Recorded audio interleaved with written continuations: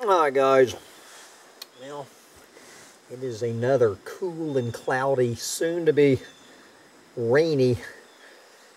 It is, where are we? It is Tuesday, August 29th, 2023, and your old doomer real estate investor on the Gulf Coast of Florida uh, is taking a break in his summer-long forest forest bath. You know, that's pretty much what I do with my life is I forest bathe, which we'll talk about here in a minute. But uh, right now, I, I'm enjoying the irony of being a doomer real estate investor who, uh, you know, bought this acre of land in Inglis, Florida. That's I-N-G-L-I-S. I'm actually north of Inglis, Florida, pretty much in the direct hit zone of uh, this latest little hiccup going on in the Gulf of Mexico. Trying to appreciate the humor of my decision uh, to buy an acre of real estate investment property in Inglis, Florida in the year, uh, when did I buy that? In 2022? 21 or 20, I can't even remember. Uh, so anyway, of course, I am watching with a, a mounting sense of dread the oncoming, uh, the oncoming hurricane. But we're going to take a break in our hurricane coverage. Several of my alert listeners here at Collapse Chronicles have sent me a link to this long article. Uh, in the good old Guardian, which I'm not going to, I, I'm just going to touch base on it. You've probably seen it. I'll put the link to you uh, on here for you, titled Off the Charts Records has humanity finally broken the climate? Extreme weather is smacking us in the face with worse to come, but, but a tiny window of a tiny window of tiny window of of of of of of of, hope remains, say, leading climate scientist. So, uh, I'm just going to read the opening of this. I'm not going to read the comments from the 45 leading climate scientists. This is the lead up to it the record-shattering heat waves, wildfires, and floods destroying lives in the U.S., Europe, India, China, and beyond in 2023 have raised an alarming question. Have humanity's relentless carbon emissions finally pushed the climate crisis into a new and accelerating phase of destruction the issue is being strongly debated with accusations of doom mongering. Uh, I can't imagine who's accusing people of doom mongering being countered with charges of complacency. The answer matters. How bad is it? And how can we limit the damage? To find out, the Guardian asked 45, 45 leading climate scientists from around the world. We also asked the equally vital question of whether extreme weather events were hitting people faster and harder than expected. The scientists told us that despite it certainly feeling as if events had taken a frightening turn, the global heating seen to date was entirely in line with three decades of scientific predictions. Being proved right was cold comfort, they said, as their warnings have so far large, been largely in vain. Increasingly severe weather impacts had also been long signposted by scientists, although the speed and intensity of the reality scared some, the off the charts sea temperatures in Antarctica sea ice loss were seen as the most shocking. Yes. But the scientists were clear. The scientists were clear the world has not yet passed a tipping point uh, into runaway climate change, but some warned that it got ever closer with continued heating.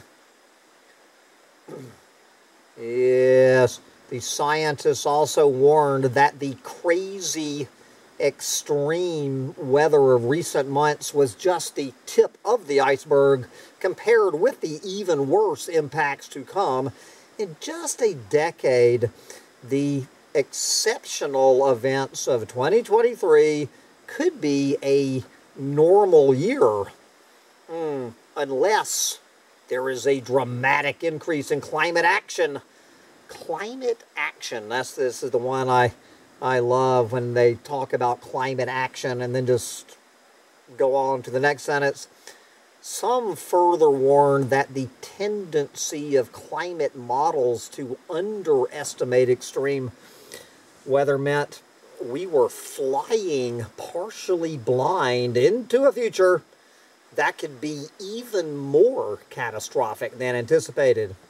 However, however, a tiny window, a tiny window of opportunity remained opened to tackle the climate crisis, they said, with humanity having all the tools needed. The researchers overwhelmingly pointed to one action as critical keeping your pecker in your pants and not letting your knickers down. Well, obviously, uh, not breeding is nowhere mentioned in this article overpopulation, nowhere mentioned in this article overshoot, which is the cause of climate change. Nowhere mentioned in this article. No, the researchers overwhelmingly pointed to one action as critical slashing the burning of fossil fuels down to zero. And of course, uh, I guess none of the climatologists advocating just stopping oil uh, pointed out that if we do slash the use of fossil fuels down to zero, that's, uh, you know, global industrial civilization will collapse probably in about six weeks, half the population of the planet will be dead of starvation within about six months. And then, uh, so I guess at that point, you will start seeing some uh, reduction.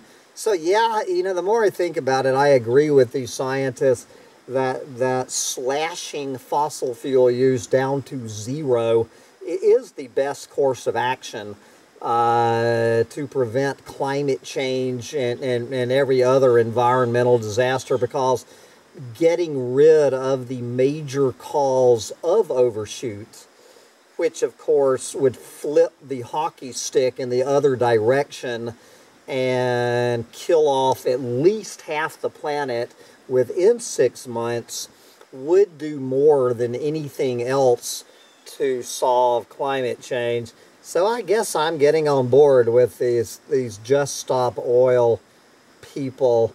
But of course I know you guys. So then so they go into these interviewing these 45 people, but I know who you want to hear from. That is of course Doom Slayer Doom Doomer Slayer Michael Mann.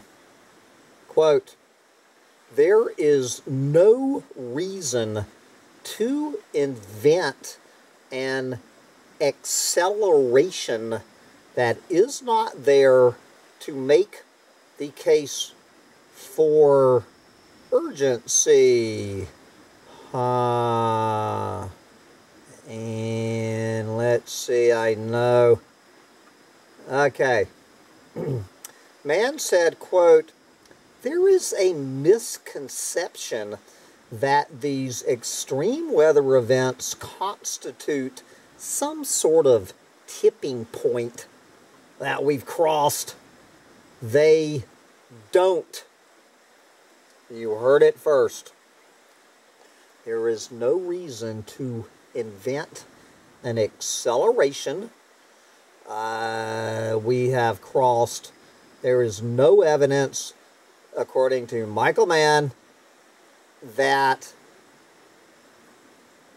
these extreme weather events constitute some sort of tipping point. They don't. And then, of course, they go into the hopium of that tiny, tiny window of opportunity that is still open to humanity. Yes, but anyway, uh, since I'm sitting here, uh, obviously thinking uh, while I'm forest bathing about uh, what's going my property, my real estate investment property is going to look like. Oh, about 15 hours from now. Uh, I could not help uh, enjoying this article from the New Republic. Stop calling it climate anxiety. It's climate dread. Climate dread. So I had to look up the definition of dread just to make sure we were all on the same page. This is from dictionary.com. Dread great fear or apprehension. The thought of returning to New Jersey filled her with dread. Uh, yes, uh, if I thought that uh, I was going to uh, be returning to New Jersey uh, I would be doing everything I could to be throwing myself directly into the path of Hurricane Idalia. Uh, so what is my biggest dread? You know, my, my biggest dread, since I, I don't have a house on this property, is uh, are these um, you know, a year and a half ago, I, I have these five big ass pine trees on my property, and after seeing uh, what Hurricane Michael did to the piney woods uh, outside of Panama City, Florida in 2018, I said if I ever buy a piece of real estate in, in coastal Florida, the first thing I'm going to do is take out all the big pine trees. So what I did in in April of yeah 2021, I girdled. I didn't cut them down because they were still alive. I I girdled these five big ass uh, pine trees. Uh, and then my plan was to go cut them down, give them six months to die, and then go cut them down last November. But that did not happen, so now they've been dead for a year and a half. So now I have five giant dead pine trees uh, on my on my coastal Florida real estate investment property. Uh, but I guess the, the bright side of it all is that I don't have to pay anybody to actually cut down these five pine trees because Hurricane Idalia is going to save me hundreds of dollars in uh, arborist fees in about 15 seconds uh, I'm going to save hundreds of dollars thanks to Hurricane Idalia. My biggest fear is now uh, giving myself a hernia when I return down there. I'm heading back down there in November and giving myself a hernia. So that's my biggest source of dread. so all eyes on Inglis, Florida. All right, but back to the article. Now that we all know what dread is, stop calling it climate anxiety. It's climate dread. The immensity and destruction of the 2018 wildfires in Sonoma County, California left a visceral impression on Mark Freed. He was 54 and he had recently moved to the area with his then with his then wife, yes, to escape the crowded city of San Francisco, but never lived. But he'd never lived through a wildfire season before. The walls of flame, quote, make you feel like an ant. You don't feel human. You're just a thing to burn. In 2018 alone, California saw 7,948 wildfires destroy almost 2 million acres. Yes, for the next few years, as Freed saw fire after fire, he felt a growing sense of helplessness and foreboding. He would wake up and immediately feel the heaviness set in, filling the quiet, you know, created by his then wife moving out on him. In his panic, he researched places that seemed the most protected from climate change, such as the Finger Lakes of New York, where fire and extreme heat would not touch him again for at least some years. But despite continually preparing for the worst to the best of his abilities, moving somewhere he thought would be safer, stocking up supplies, reinforcing his house, he still could not shake the feeling that disaster is inevitable. Quote, it's like there's no control over what's going to happen to us. But I thought there was a tiny window of opportunity, Michael, or Mark, whatever the hell your name is.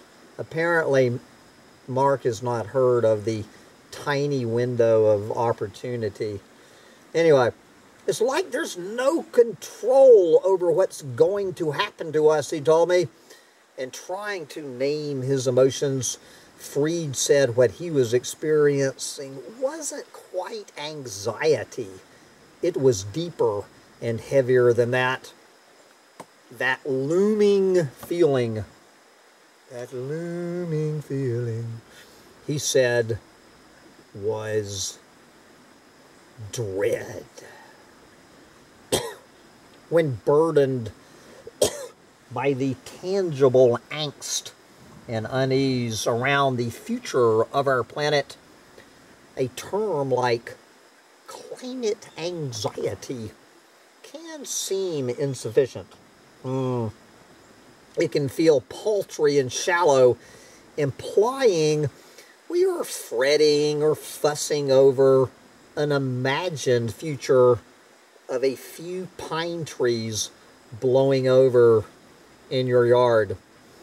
In reality, seeing the mounting global disasters and learning of the evidence based projections of our changing world comes with a heavy emotional gravity. For some, anxiety simply does not do it justice. For people like Freed and myself, and potentially you, waiting for a hurricane to smash your real estate investment, the phrase climate dread, better than climate anxiety, legitimizes the real and tangible threat coming toward us and communicates that fear to others. The importance of this distinction is not just etymological. The emotion of dread affects us differently from anxiety. Understanding how can provide insight into our reactions to climate change and why it can be so hard to spur people to, here we go again, climate action. Climate action. Defining dread is a tricky task. No, it's not. We went over there to dictionary.com. We defined it, you know, talking about how you would feel if you were moving to New Jersey. Okay?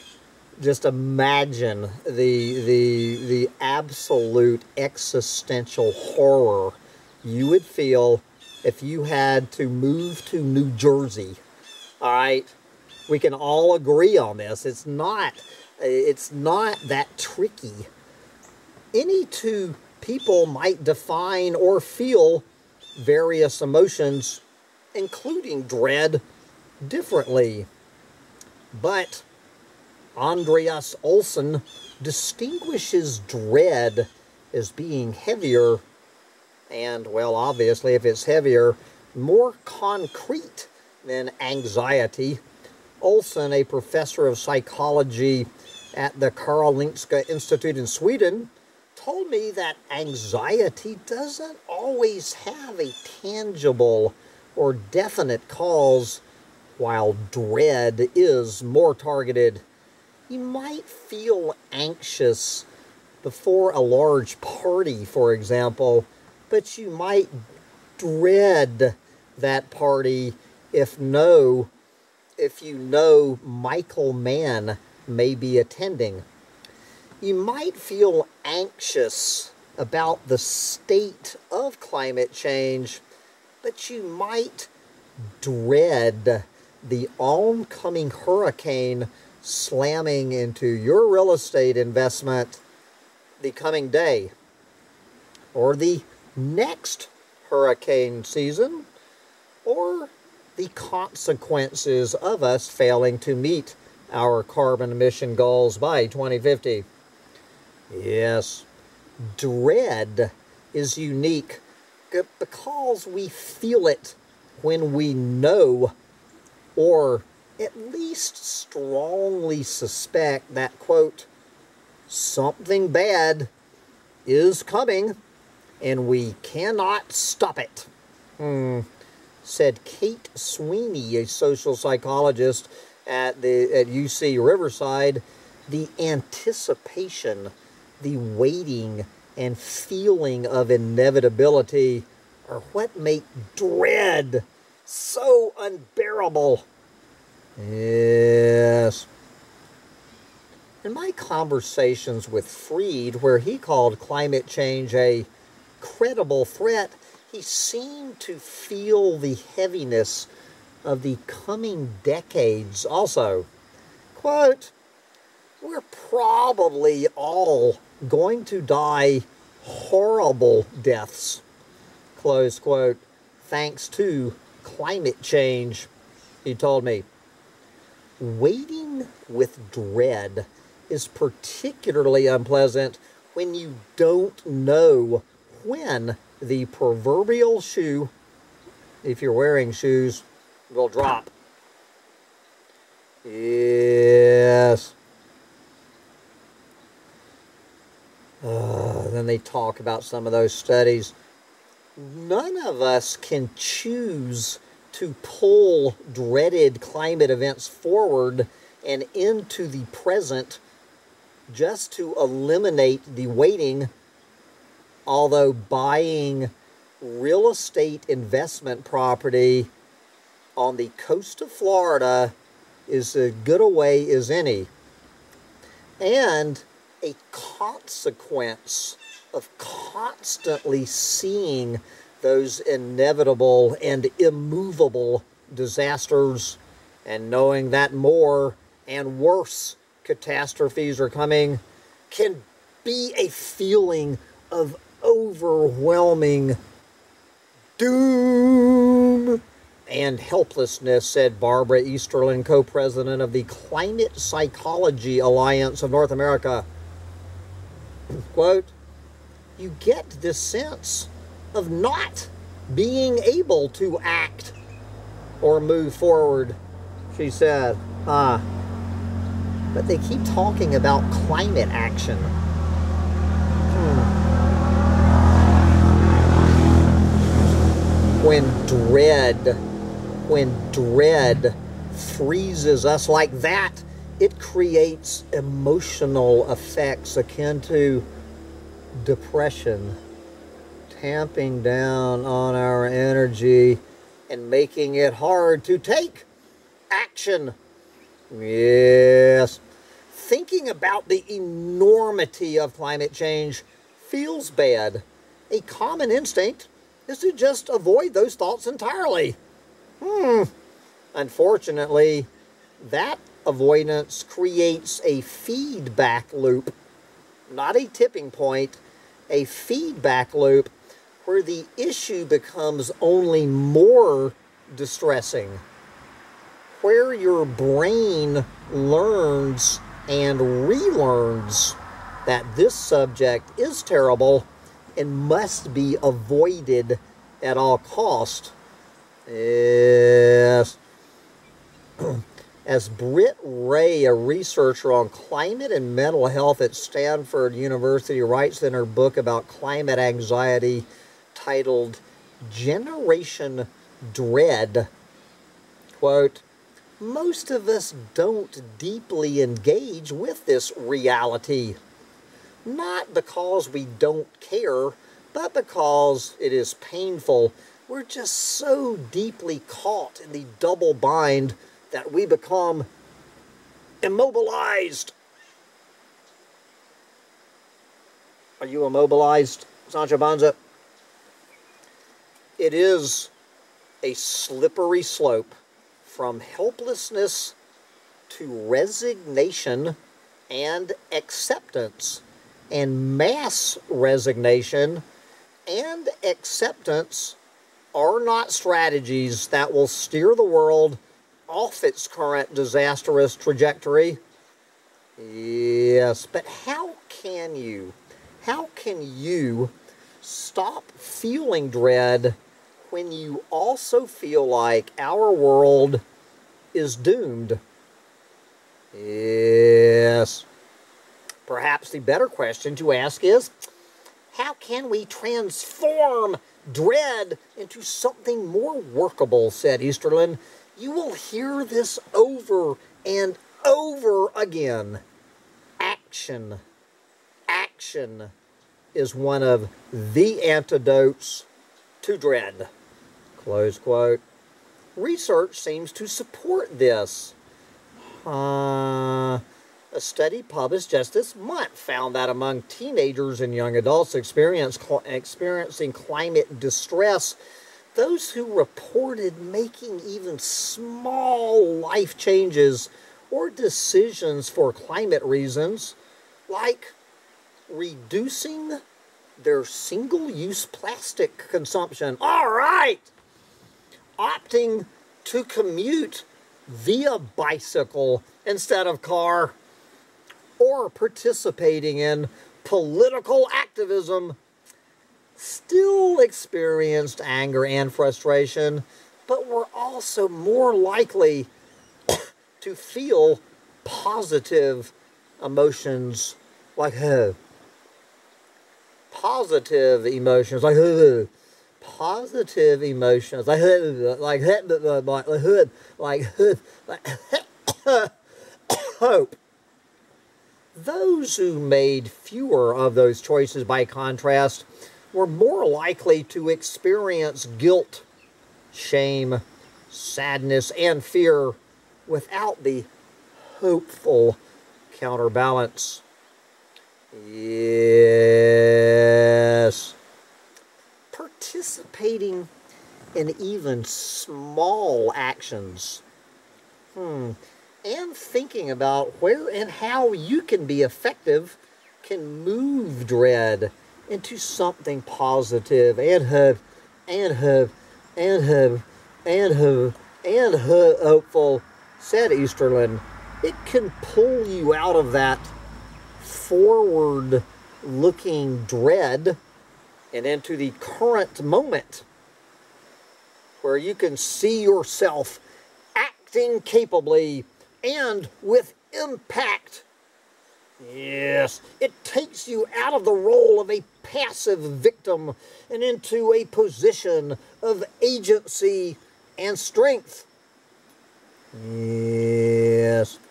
While it is overwhelmingly seen as a negative emotion, negative emotion, there are some positive side effects of experiencing dread, experts say. Like many emotions, dread is contagious. Yes. Whether we express it in person or online, dread catches and amplifies, which can paradoxically help bring more attention and awareness to the issue at hand and possibly bring like-minded people about how fucked we truly are together. Yes, this helps us all establish what we communally think is undesirable or should be avoided, otherwise known as hopium, thinking that there is a tiny window of opportunity left. Yes. When everyone is in agreement to feel dread over something like climate change, we can collectively establish a target to work against. Uh, anyway, I did not uh, realize that this uh, went on to. Uh, anyway, I guess we're fine. Are we getting to the end of this? I'm, I'm, I'm dreading uh, having to keep sitting here.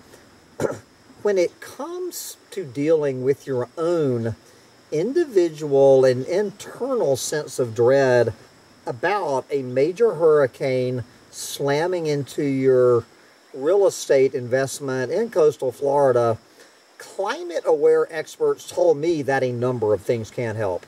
The first step is to always acknowledge that climate dread is a feeling that is warranted. We are living through an unprecedented ecological breakdown of our own making. There you go.